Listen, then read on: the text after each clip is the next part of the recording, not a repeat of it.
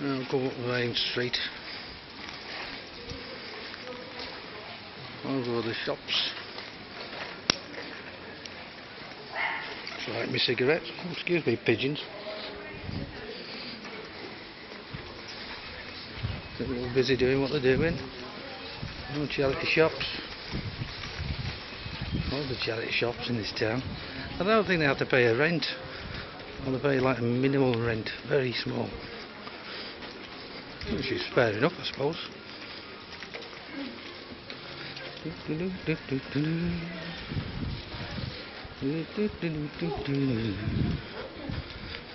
Opticians, another bookies, bookmakers, and charity shops, oh, you know what I mean? Fella there watching me.